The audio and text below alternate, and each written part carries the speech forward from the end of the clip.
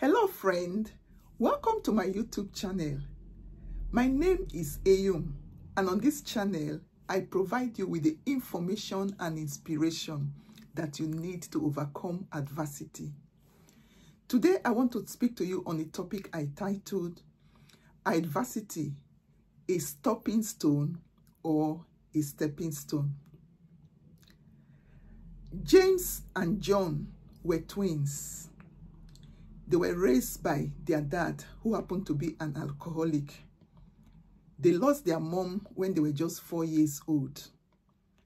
And because of their dad's alcoholism, he often came back most nights drunk.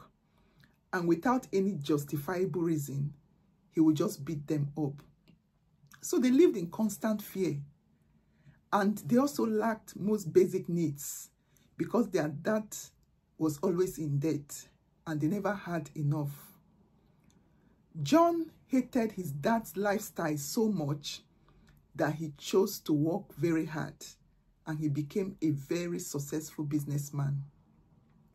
James, on the other hand, felt helpless and he could not stand on his feet even in his adult life.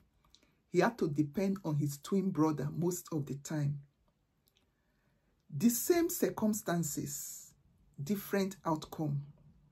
Actually, this story was made up by me, but they are very similar stories that we hear and play out around us all the time. Sometimes you look at yourself and your siblings. You grew up under the same circumstances, the same parent, the same environment, but everyone turns out to be different. So what is the reason? The reason is that one person chose to make adversity a stopping stone, while the other chose to make adversity a stepping stone. That was the case with John and James. Why John chose to make adversity a, a, a stepping stone, James chose to make adversity a stopping stone. Because when both of them were asked, John's reply was, with the kind of father that I had, what do you expect me to do? I don't have any choice than to work hard and defile the lifestyle that he lived. And John, James, on the other hand, when he was asked, his reply was the same. With the kind of father that I had, what do you expect? How, what do you, how do you expect me to, to, to make it with the kind of father and the circumstances that I grew up with? So, what makes adversity a stopping stone? That is what I want us to pull out from the story that I've just shared with us. Adversity can become a stopping stone. Number one, when you embrace a victim mentality. A victim mentality is when you feel that you've become a victim of a circumstance. You feel that you cannot help yourself. You feel, you feel helpless. You feel that the circumstance dictates your outcome. This is what we saw with James. He embraced a victim mentality. And as a result of that, when adversity knocked him down, in quote, when the circumstances under which he was brought up was not favorable, when his father's lifestyle was not favorable in raising him to be a responsible person, he let that keep him down. And because of that, he did not make anything good out of his life. So when we embrace a victim mentality, we make adversity a stopping stone. Remember in one of my videos, I said adversity is unavoidable. Everyone experiences adversity. Everyone gets knocked down in life. But you are the one that choose whether to make adversity a stopping stone or to make it a stepping stone. We can also make adversity a stopping stone when we shy away from responsibilities. Many times when things happen to us in life, yes, there are reasons why those things have happened.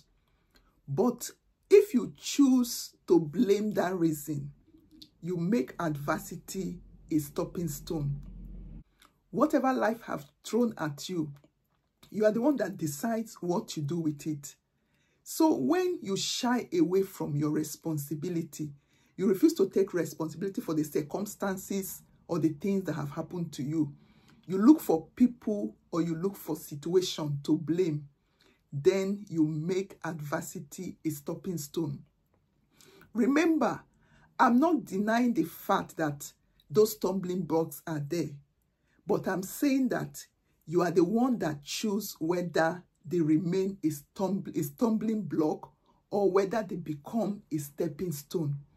You are the one that choose whether those blocks or those stones are going to stop you or whether they are going to help you to move to a higher level. When we embrace helplessness, we feel that the situation that is happening to us or that is happening around us is outside of our control.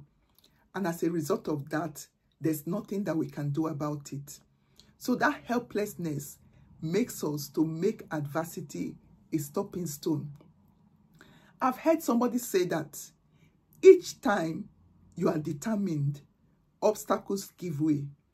Actually, the person says obstacles give way to determined people.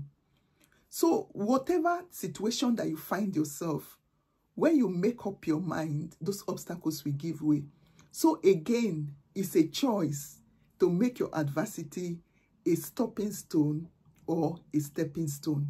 Adversity can also become a stopping stone when we have made mistakes and we beat ourselves down and we cannot move beyond our mistake.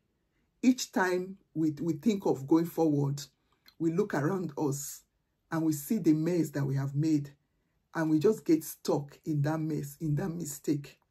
You can learn from your mistakes and move forward or you can choose to perpetually beat yourself down and get stuck in whatever mistake or mess that you have made.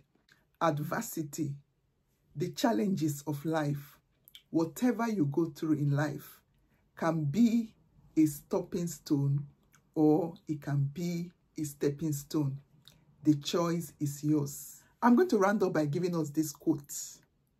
The quote is by Ben Carson, the author of The Big Picture. So this quote is from his book. He says, a victim walking through sand looks down and he sees dirt, while a victor walking through sand looks down and see the ingredients for building a castle. What choice are you going to make? Are you going to use the sand around you? Are you going to just see them as dirt that stops you from moving forward? Or are you going to see them as ingredients for building a castle? Remember, the choice is yours to make adversity a stopping stone or a stepping stone. Thank you so much for joining me today. If this video has blessed you, please like and share with your network so that they also can be blessed. And don't forget to also subscribe to this YouTube channel if you have not yet done so, so that anytime I upload a new video, you'll be notified. And please share your comments as well. So take care and I'll see you again next week.